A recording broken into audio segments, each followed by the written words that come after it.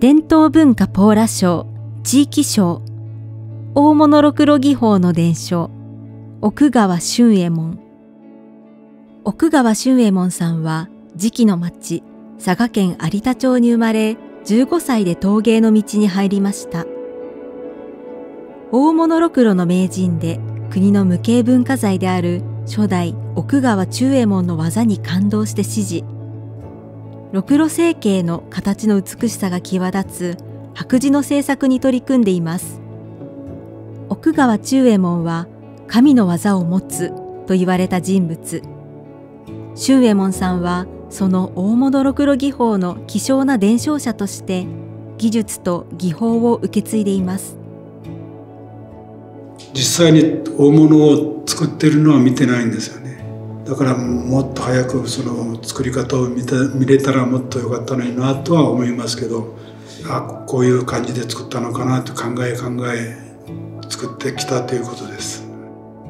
有田では江戸末期から明治初期にかけて磁器で大物を成形する技法が確立され最盛期には高さ2メートルにも及ぶ大花瓶などが作られました。大物ろくろの製作ではまず図面を描き部分に分けてろくろを引き図面通りに正確に作ったものをつなぎ合わせて成形するという一般的な磁器製作とは違う独特の技法が用いられます。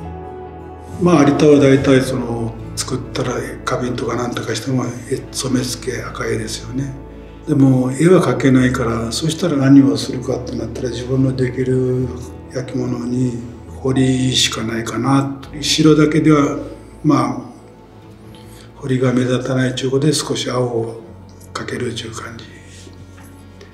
のやり方でやってきました。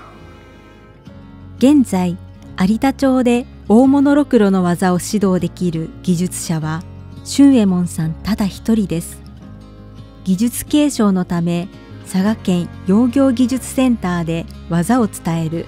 高度ろくろ研修の講師も務めました。そこで学ぶ若手陶芸家とともに奥川中右衛門の大物ろくろの複製への挑戦をはじめ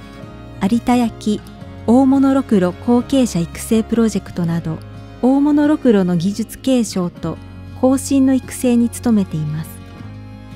今年作った生徒たちが何十年後にまたそれを作るっていくということでだんだんそのつながっていくんじゃないかと思います。その5人のうちの何人かがそれを継承していく。そのためにはやっぱり経験させとかんとですね。そしたらまたその時にああやって作ったねという感じでまた作ってくれると思ってます。まずは続ける。続け続けることが一番大事だと。上手下手は関係なく死ぬまで続けたらねなんとかなる。若いメ生徒たちには続けることが一番でうまく並んでもいいから、ね、まずは続けろということですね。それはいつも言ってます。俊右衛門さんの人柄を物語るような大きく優しい手。